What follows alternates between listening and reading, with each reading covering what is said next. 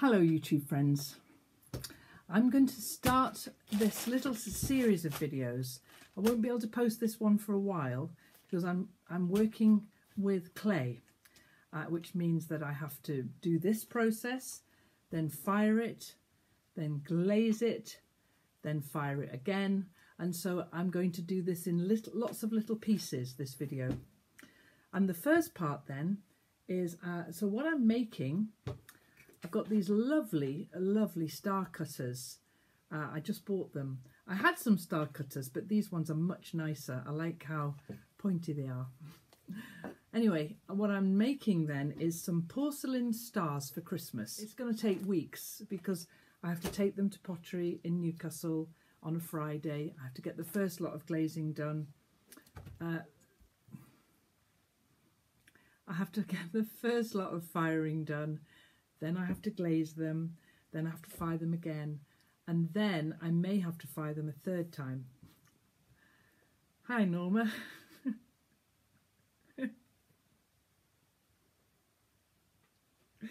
so we're going to make a start. I've got all the bits and pieces that I need here.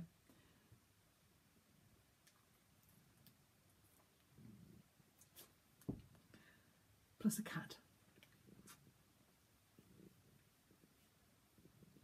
She's my little purr machine. Okay, what I'm going to invite you to do, Norma, because this is going to get a bit wet and sticky, I'm going to invite you to sit on that chair. Thank you. In, inside here then is porcelain clay. Now, a little while ago, I did a shop update where I listed some porcelain uh, bits and pieces and sold them all. Thank you. And this was the bag of porcelain that I made them from. I've got this much left.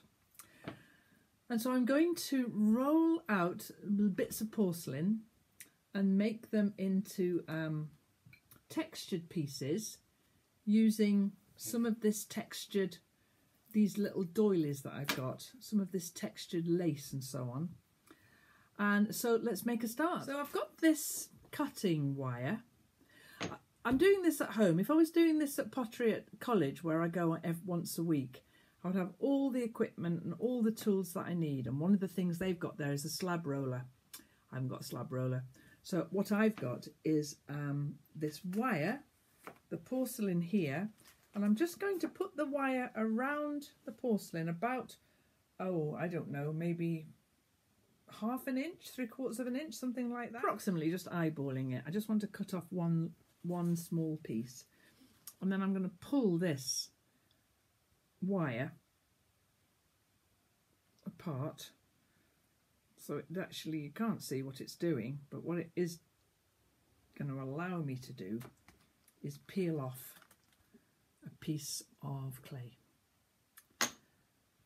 Then I'm going to cover this back up again because the less it's exposed to the air the better it is. Now this is the porcelain in its raw form here. Actually, I'm not sure how easy it's going to be to do this with you there on the... Uh, I've got you balanced on a box with a, uh, a big um, tin of olive oil. Because what I need to do now is... Yeah, we'll try it. I need to hit it on the table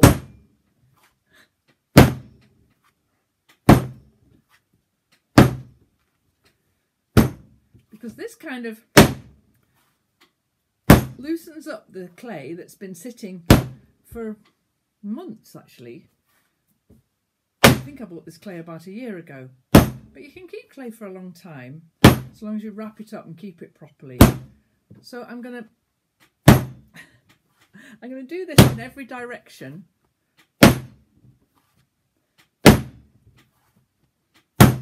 Already it feels looser. I've also got my spray water bottle and I'm just going to keep the thing moist so that it doesn't dry out.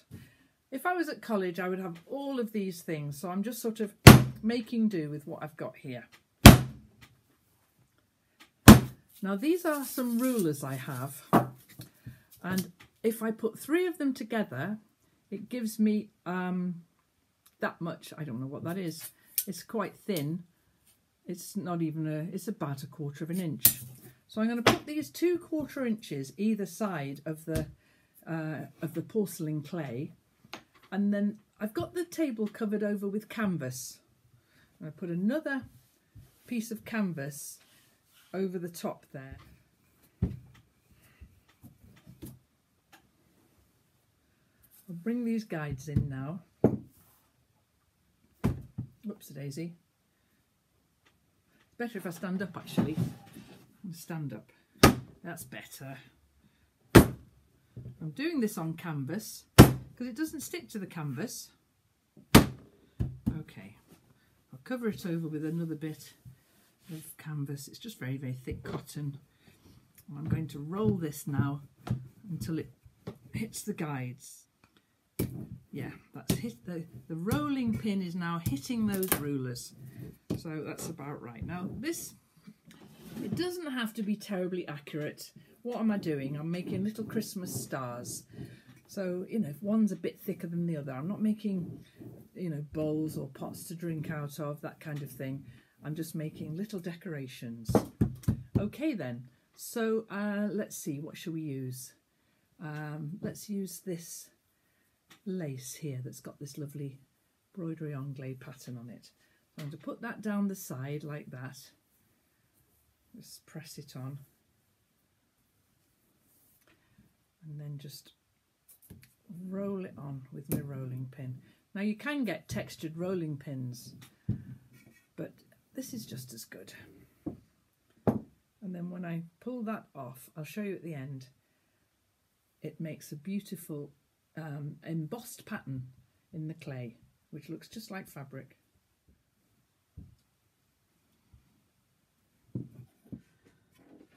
So I've got you in on a different angle here.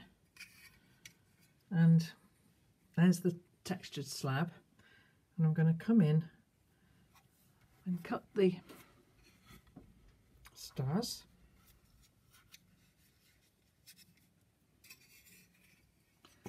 And then the way that I make the little hanging hole I'm using a straw. And just choose whichever arm I want to put the hole in and I just put the straw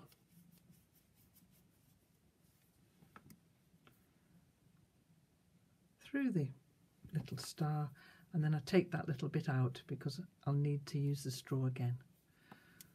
Okay, so that's one. And then if there's a little bit there where the star cutter won't fit, I'm using a smaller star cutter to make, I've got an idea for what I want to do with those. So just like we were cutting out a pastry uh, biscuits or something like that, I'm just going to cut as many as I can out of here.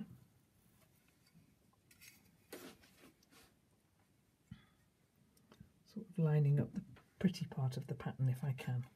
One there. And then, because I've got to transport these to Newcastle, which is about, I don't know, what is it, 30 miles? Something like that in the car. Because of that, I'm going to, I'll show you in a minute, I've got them in um, a plastic box with baking parchment in between each layer. I'll do a small one there as well. I think I can get one there. Oh yes I can. Oh no I can't. No. Okay. So I'll make a hole in the middle of that one. I'm making the holes in the middle of the small stars. Okay guys, the next time you see these will be when I'm doing the next stage of the process. I'm going to roll all these bits out now, spray them with water and make a few more.